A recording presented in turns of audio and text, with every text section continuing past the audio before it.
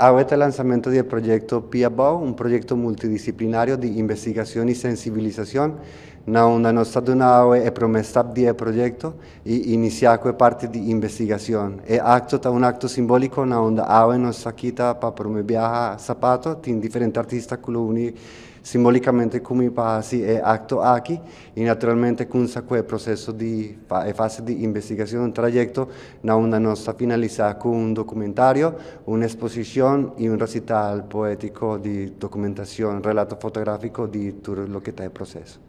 Quem turlo forma parte di Saki e um, lo tapeta un dia abrir para público também?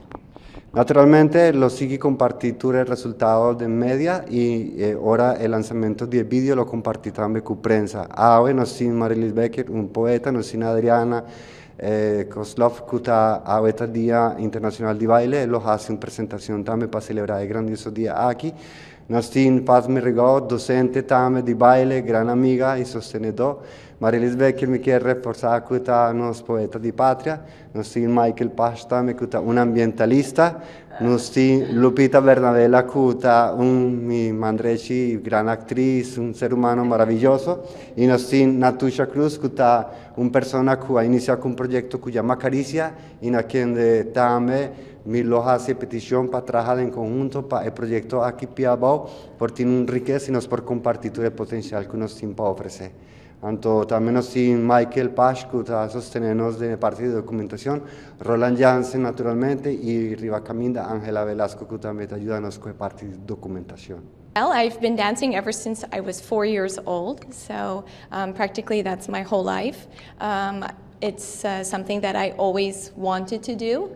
Um, I'm not sure how I came to this as a little girl, but I just remember always wanting to dance and um, it always being um, a part of my life. So we saw you did some type of dancing. Um, well, this was a, um, a combination. I started with a classical ballet dance with the pointe shoes, and um, then I wanted to break out of that and get a little more freedom. So I took off the shoes and then enjoyed to dance um, barefoot, be a ball, um, and find the energy from the earth and from nature, and that giving me inspiration. And the music is um, a piano solo uh, by Michael Ortega um, entitled um, El Último Rosa. So now if somebody want to see where you're dancing or anywhere, how they can check this out? Um, well, we have um, Facebook page and Instagram for Koslov Dance Academy. Um, there we offer lessons for children from four years old um, in um, classical ballet. And um, also myself, my name is Adriana Koslov. I'm also on social media as well. And uh, you will find our dance academy or myself performing at various events throughout the year and uh, mostly a lot of shows in Cas di Cultura. And what will be your main role in this project? Um, my main role in this project um, will be as a creative human. Um, wait, I gotta do that again. Just a I know, it's, it's okay. Just a minute. Okay, you, you start laughing. Okay. Um, my, my, we didn't discuss my main role yet, that's why. But um, okay.